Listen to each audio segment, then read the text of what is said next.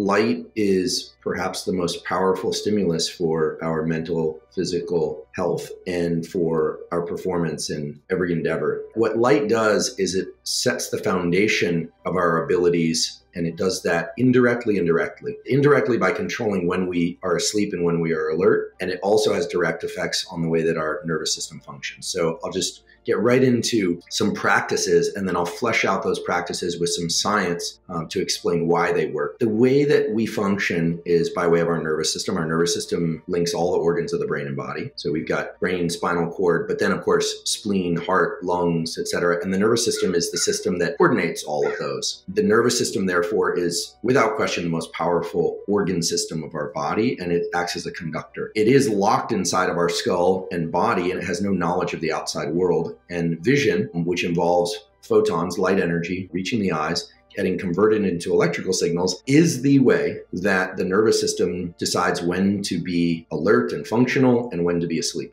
It also is what determines all the various little oscillations in ability to focus and creativity and all the other things that we consider life. When you wake up in the morning, your brain and body have effectively been in the dark, regardless of what sleep environment you happen to be sleeping in. And you have a set of neurons, nerve cells in the back of your eye, a little structure called the neural retina. It's a little three layered structure. And those nerve cells are not involved in detecting the shapes of things. What they are essentially looking for, what activates them, is bright light, ideally from sunlight. And when bright light, ideally from sunlight, reaches the eye, those particular neurons send a signal off into the vaulted dark of the brain. Uh, they do that by way of a little wire called an axon, and they communicate with an area of the brain that's vitally important called the hypothalamus. It sits right above the roof of your mouth and it harbors a bunch of structures that are responsible for hormones like testosterone and estrogen, for cortisol release in other locations in the body.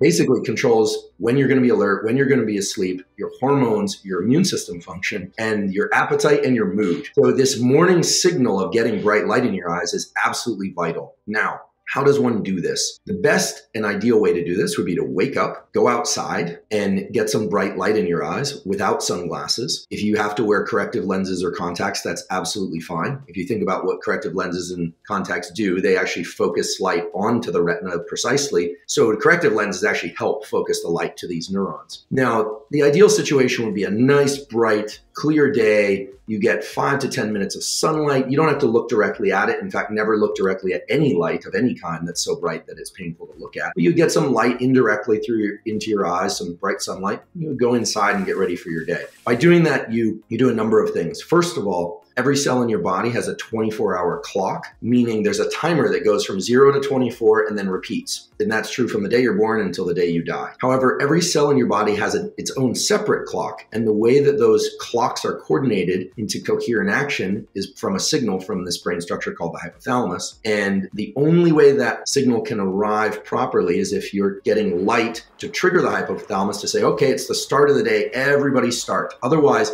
your body slowly over time becomes a little bit of a clock shop where every clock is on a different timer and it's alarming at different times. This is actually what happens when you travel and you get stomach issues or you're not feeling right from jet lag. Your body clocks, the individual clocks of the cells in your body are falling out of sync. Okay? They're becoming what we call unentrained or as- asynchronous. So you get up in the morning, you go outside, and you get some bright light in your eyes. However, many people, including me, wake up before the sun is out. In fact, I'm up, you know, early this morning and there's very little light in the sky. The sky is just a pale gray right now. In that case, it's very simple. Flip on as many bright artificial lights as possible, ideally overhead lights, because the neurons in the eye that perceive this light and send that signal to the brain reside in the lower half of the eye, and therefore, because of the optics of the eye, they actually view the upper visual field. So as you notice, I've got some bright lights on behind me, but sunlight is really the key. And so once the sun is out, it's very important to get outside and get anywhere from, you know, five to 20 minutes of bright light exposure. A lot of people can't afford the time of 20 minutes. If it's a dim, overcast day, the remarkable thing is there is more photon light energy coming through that cloud cover than there is from these bright lights of the sort that are behind me here. Now, some people live in an area of the world where it is very dark in winter, or their schedule is arranged such they just can't do this within 30 minutes of waking. In that case, there are daylight simulators that are commercially available. They're they're very expensive. What I recommend is actually something quite low cost and works just as well, which is you get a ring light, like the selfie ring lights that the uh, YouTubers and the Instagrammers use,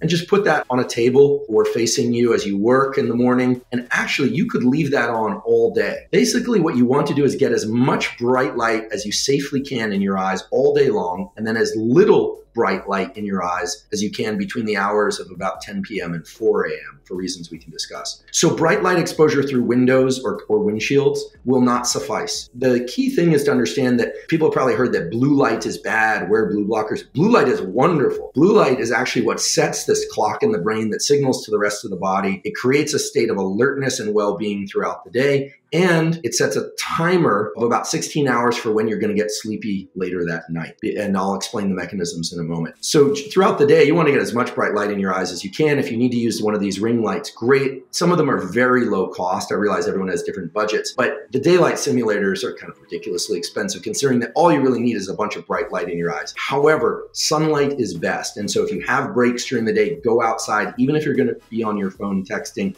if you can take calls outside, do it. If you can get out onto a balcony, do it. If the sun is on the opposite side of the building and you're on the balcony taking a call, you're still getting more photons, more light energy. And a fun little free resource that's out there, there's an app called Light Meter. And you'll notice that on a dim overcast day, you're getting, you know, 8,000 lux uh, of light coming to you. And then you'll point at one of these very bright artificial lights in your home and you'll look at, and it'll say 800 lux. Go, wow, how is that? Well, it's because there's a lot of light scatter in, in the outside. So you, you don't perceive it as a focused beam. So this behavior, this, this activity should be done every day. If you miss a day, it's okay. There's a slow integrative system, but you don't want to miss more than one day. Why? Well, one of the key features of every cell in our body is that it's coordinated to a general hormonal signal. Hormones are chemicals that are released in one location in the body that go and act at other locations in the body. And a key hormone for health is cortisol. We always hear about cortisol as a stress hormone, but cortisol every 24 hours there is going to be a peak in cortisol release. That's non negotiable. It's a healthy peak. It's the one that wakes you up in the morning, increases your body temperature, which is part of waking up, gives you focus and alertness.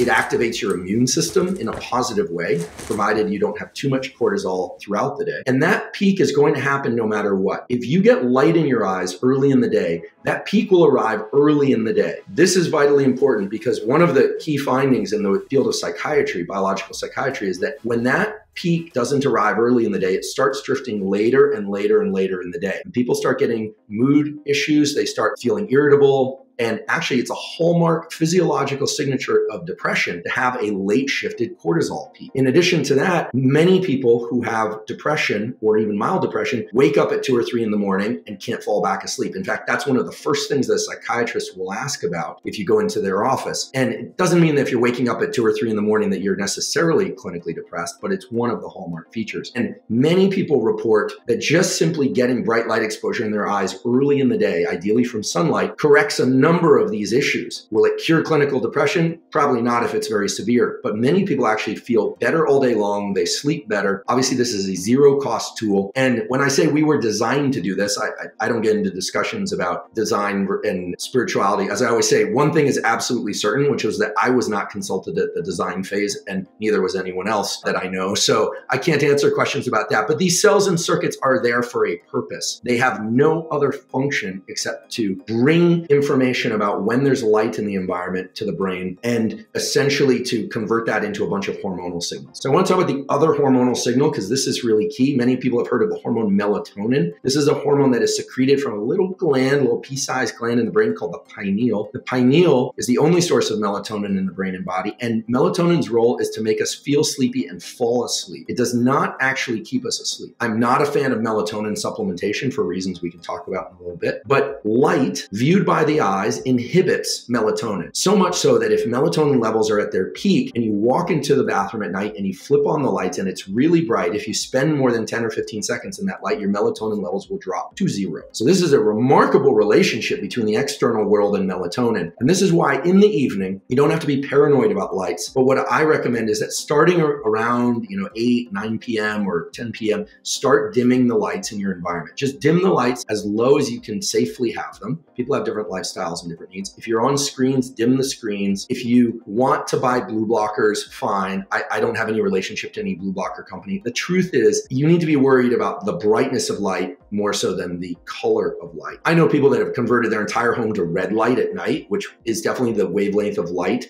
that has the least stimulating effect on this system. And that, that's um, kind of an interesting thing. I, I think we're going to start seeing more kind of smart homes and smart lighting systems. Most people don't do that. I don't do that. What I do is in the evening, I start dimming the lights. And if I use lights, I use lights that are set low in the physical environment. And that's because they won't trigger activation of these cells quite as much. You really want to control your transition into wakefulness by viewing bright light early in the day and throughout the day. And then you really want to control your transition into sleepiness by dimming the lights in the evening. And if people do those two things, they are going to see an outsized effect on their mental mental and physical health. It's with, without question. And then there's one other kind of tweak to all this that's if you can, try and get outside in the evening or late afternoon when the sun is headed towards the horizon. It doesn't have to be a sunset. If you can watch the sunset, great. But what we call low solar angle light has particular wavelengths that are optimal for activation of these cells. And what happens then is very interesting. You're giving it two signals. You're giving it a morning signal saying, ah, it's morning. You, would like that morning. Then you're getting an evening signal. And this clock in the brain, it gets a little technical, but it has two oscillators and it has a morning oscillator and an evening oscillator. And then your system really knows where it is in time. And then if you avoid bright lights in the evening, most days, you know, we've all, you know, fall off every once in a while. You go to a show or you go out and it's bright in the restaurant, fine, no big deal. But if you do this most days, your system starts to hum along with the natural rhythms of the rise and falling of the sun. And it's no coincidence that we have a 24 hour clock in every one of our cells because the earth, of course, spins on its axis once every 24 hours. And in addition to this, if you start doing it regularly, something really beautiful happens, which is that melatonin signal. Remember, light inhibits melatonin. The longer the day, the shorter the melatonin signal. So in summer months, your your body releases very little melatonin. In winter months, because days are shorter and there's less light overall, you release much more melatonin. So you actually have a calendar system in your body that relates to the orbit of the Earth around the sun once every 365 days. And what happens is when you start getting regular about morning light viewing and in some sense uh, evening light viewing every once in a while or ideally every day, what happens is your system starts to fall into a very regular pattern where you feel sleepy when you expect to and want to be sleepy. You feel wide awake. And people actually report the subjective experience of going outside in the morning and as the sun comes out or as they get this bright light exposure from an artificial light they can actually feel their system charging. That's not a placebo effect. That's a real effect of the release of cortisol and adrenaline into your body. The release of dopamine is controlled by light powerful neuro, uh, neuromodulator that makes you feel good. So i could go on and on but it's very simple. Get as much bright light in your eyes ideally from sunlight throughout the day when you want to be alert. Really limit the brightness of light and the amount of light as you head into the nighttime